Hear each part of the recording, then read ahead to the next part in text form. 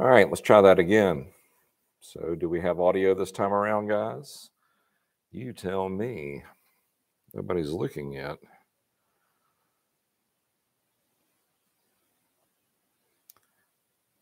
Take a look now and tell me what you got. Don't you love it when technology doesn't work the way you want it to?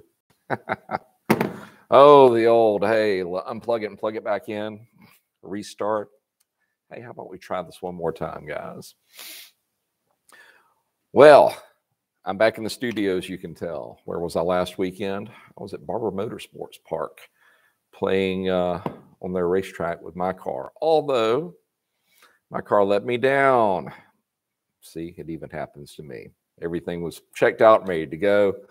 Had it out on track. Noticed it was braking a little bit squirrely, and I'm like, man, what the hell's going on? Front brakes looked fine. Went and looked at the rear end, lifted it up, looked across, outer CV joint, ripped all to shreds. I don't know what got to it. Of course, then it threw grease all over my rotor and the brake pads. So we were done for the weekend.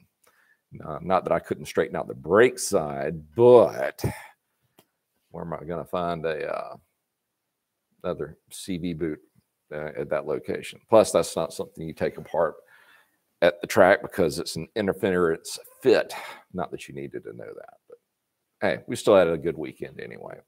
So let's start off this Friday by swinging around to anything I may have missed last Friday. I think there were two things.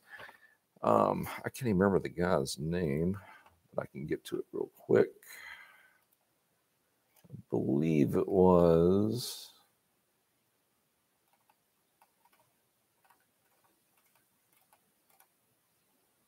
Big CG75. He asked me for the valve clearance on a 2005 GSX F750F Katana.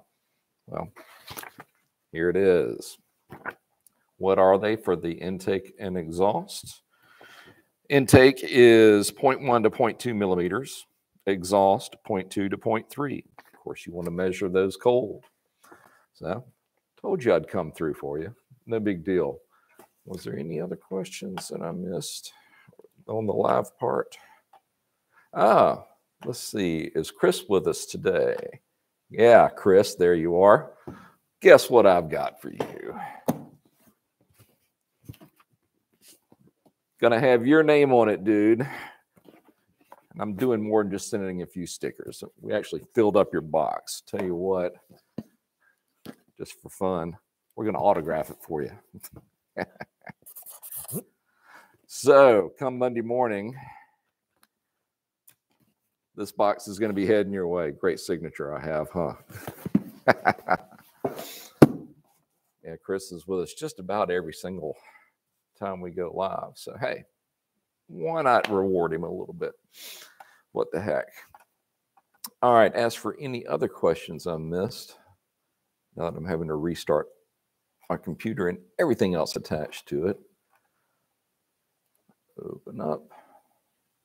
Sorry, I really was prepared for uh, to get going, but not when the computer doesn't want to play.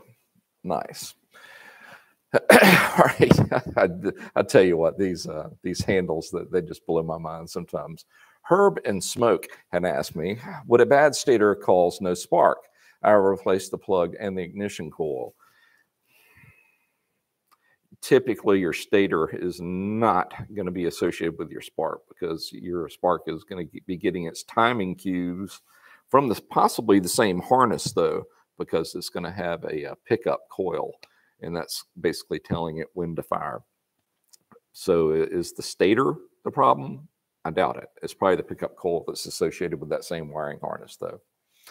Fake name has asked me, hello, I could use some advice about my carb, PZ30 on a 250cc.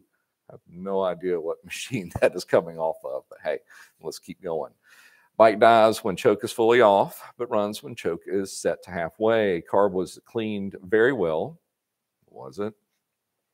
Air screw, air fuel screw is currently set to two and a half turns out. What I'm wondering is, could the position direction of the holes on the sides of the main jet nozzle be a possible cause for this issue? As and do the holes need to be cl- uh, clocked a certain direction? They are not clocked. Okay, you're talking about the uh, on your main jet, the the emulsion tube is what I, I assume you're talking about, and it has the holes that are up on the sides. And no, it doesn't matter which way that is turned because it's basically just swimming in the uh, the bottom of the float bowl itself.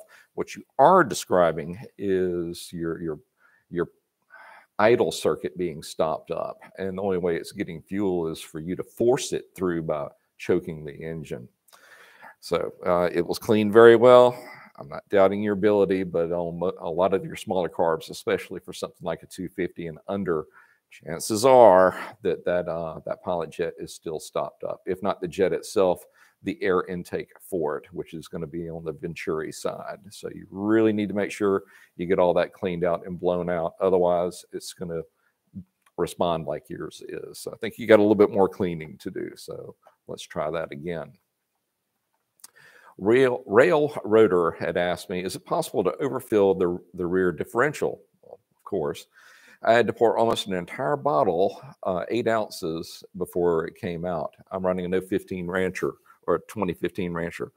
Yeah, we did uh, one on a 2012. We did a front and rear differential service. So if you want to check the playlist for ours, I can walk you through it.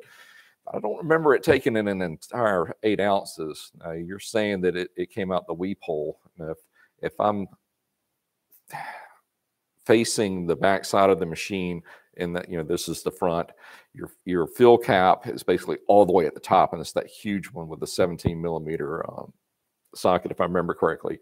Drain holes all the way at the bottom, and over on this side is going to be your weep hole, and it's only about that far up on the bottom of the differential case itself.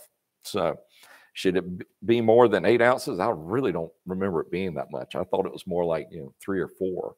Go back and watch that video. But to answer your question, as long as you're not completely overfilling it and it's just continuously if you've overfilled it and this continuing to run out that weep hole, leave it uncovered for a while. Let it go ahead and flow out. If you accidentally pour it in, I don't know, three ounces too much, uh, it may take a little while, especially if it's cold. But um, as long as you are sure that you've got that uh, that weep hole uh, bolt pulled, and I think it actually has it stamped on the side of the uh, differential cover or the differential housing itself, um, diff fluid inspect or something like that. I, I can't remember can't remember at all, guys. But as long as you let that weep out, it should be fine. So, yes, can you overfill one? Certainly. If you let it settle down to that level, you're going to be fine. All right, let's see what we've got on the uh, on the chat. All right, cool. Got a few questions or comments. Uh, Steve, New Zealand, John, Grizzly, uh, Grizzly 550 runs fine. And then at times, not every ride, after 30 minutes of riding, the idle will start to race. If I switch off and restart, it seems, seems to settle down. That's an interesting, interesting one, Steve. Because uh, what? Well, let me ask you real quick. What year is it? I assume that the the 550 that's going to be fuel injected. So I think this is going to be a uh, more than likely a sensor problem, and uh, because it's telling it to to idle up. Uh, your ECU is telling it to idle up. So something in turn is telling the ECU I need to idle up. So I wonder if uh, one of your sensors, maybe your throttle position sensor, is sending some false information to it and making it uh, act a little weird. Uh, give me the year on that one, and uh, I'll look a little bit deeper into it. But uh, no, I haven't run up on that one before. But chances are, I'm about to lose my voice. Chances are, um, your ECU is getting some false information that's causing it to idle high. Long story short. Mr. Somebody, you're a hard man to live read. Yep, that's why I had to restart. I can't read that name. Hello, hello back to you. Uh, JG, hey, hey, JT, all the best from England, UK. Well, glad you're dropped in and spent a little time with us. Your boy Sham Shep, 400EX did rear carrier bearings. Now, when you try to tighten the caliper um, to bracket, it pulls itself onto the rotor, causing it to drag. and have taken it apart. And am I missing anything? Checked manual. All right, let me think this through. Did the rear carrier bearing. Now, when you try to tighten the caliper bracket, it will. Oh, okay. Gotcha, gotcha, gotcha. All right, when you you put it back together, um, you set your your tension um, on the uh, the carrier itself, and then you've got those. Um, I think there's either four or yeah, I think there's four um, number six millimeter bolts on the backside, which clamps down onto the carrier. And you're telling me even after you tighten those down, it's still trying to inch or is trying to rotate forward? I wonder if you've got those torqued correctly and they're a little bit deceiving. You'll need, you don't just do it once. You'll need to make about three different passes to get all those tightened because you'll go through once and it'll, it'll set uh, or it'll activate your uh, torque wrench. But then you go back again and you'll notice that first one that you tightened, it's going to go a little bit further and go across. So you need probably need to go through there about two or three times to get that all clamped down evenly. Chances are it's not torqued correctly, and that's allowing it to uh, rotate in the how uh, in the uh, swing arm itself. Chris R, why'd you rotate? Why'd you uh, remove a message? You talking bad about me? Norwood Sportsman 570 ATV stuff. Hey, John, I'm mechanically inclined and I was wondering if you recommend a novice try to tune an HMF slip on exhaust on a Polaris uh, 570. It's, it's not that tough, especially if you're just doing a, a slip on. Um, there isn't a whole lot of changes that you'll need to make to it other than maybe uh, adjusting just the, uh, the air fuel um, on air fuel screw, bringing it out maybe another half a turn or whatever HMF uh, um, recommends. Because uh, with just doing the slip on, you're, you're just dealing with the, the last part of the exhaust system. It's not like you put a gigantic header on there where you're having to compensate uh, your air fuel to an, a, a wide or a big extent. So, no, don't be afraid to do that. Go ahead. Pretty simple stuff. Uh, your boy Sham Shep came back. Everything seems fine. I've done these before, never had this issue stumped. Hmm. Oh, Chris did respond, dude. you got thanks, you guys at PZ. Not a problem. This is uh, this is fun for us. So why not uh, why not reward people that uh, come in here every week and listen to me babble for you know 30 minutes at a time. We're glad to have you. All right, um, I, I, can't make out your name on this one. He says, is this broadcast dedicated to something specific or can I ask anything related to motorcycles? Say anything you want to. This is just an open format. So every, whatever you want to ask me, fire away. JG said it best. Any questions, John, we'll try to answer. You got it. And if I don't know, I do have the, uh, I can access a lot of different uh, supplies to where I can find out the answers if I don't know off the top of my head. Because because I can. Mark J8. I have a Polaris 325, two stroke, isn't it? 2001. And when I accelerate or go up hills, it makes a loud clicking noise, maybe from the transmission.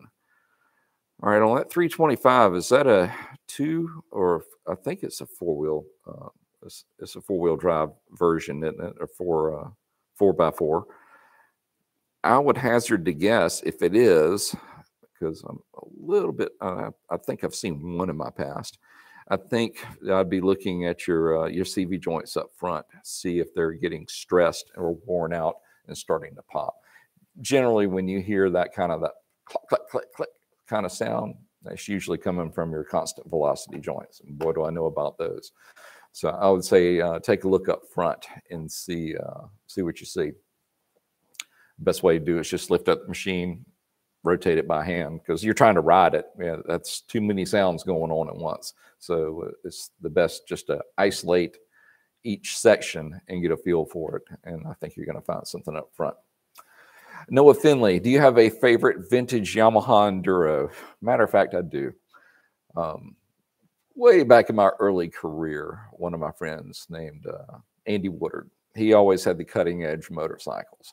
And we were all just blown away by his 1973 DT 175. I believe it was a 73. This one had this beautiful blue gas tank with a with a gray pinstriping around it know, from the factory, and this huge chrome uh, gas filler cap.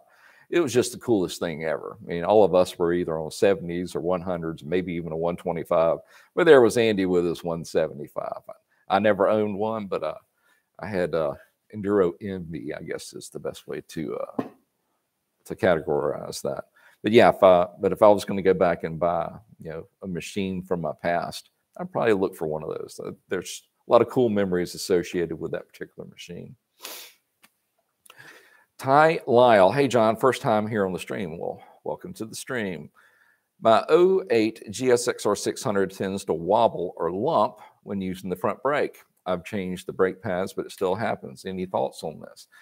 Yes, more than likely, it's, it's not that your front rotor or rotors are warped, but over time, and depending on what type of brake pads that you're running on there, you can get deposits of brake dust. I know it sounds crazy, but that'll cause the, the, front end to to wobble, and when you're under braking, it, it'll shudder. And about the only way you can straighten that out is well, one of two ways. Either get a uh, they make these different attachments for drills where you can clean off your your pat or your your rotors or just replace the rotors. I mean, it depends on how much you're willing to how much time you're willing to spend or how much money you're willing to spend. But your rotors, they're not warped, but they have a buildup of uh, brake pad material or dust that's causing them to uh, to make the pads jump in and out. I've had it happen a couple of times on a, a track car when I did not properly bed in the brakes, and that's the real trick is to get an even layer of brake bedding when you first put on, uh, especially a new set of rotors, or and or when you're changing over to a different style or formula of brake pads themselves. That's more than likely um, what you're what you're running into. Uh, Steve from New Zealand said, "Hi, John. To confirm, it is a 2014 fuel injector in injected." Well, uh, my original um, my original uh, advice um, is the same. I would I would bet that uh, it, it's going to be something that's telling the ECU incorrectly, uh, uh, telling the info, information or relaying incorrect information to the injectors on it. Mark J8 is a two-wheel drive. Okay, so that Polaris 325 is a um, it's just a two-wheel drive. That being the case, man, I'm trying to remember that machine. Was it chain driven? Mark, if that's the case, take a really close look at the condition of your sprockets and see if they're just worn to the point where they're kind of arcing over and now they're starting to catch the backside of the chain, especially when that's under a lot of torque. So take a look at that very carefully, especially your front one. The back one, it'll hide it for a while. The front one, they really start to get hooked, and uh, chances are that's what it's doing.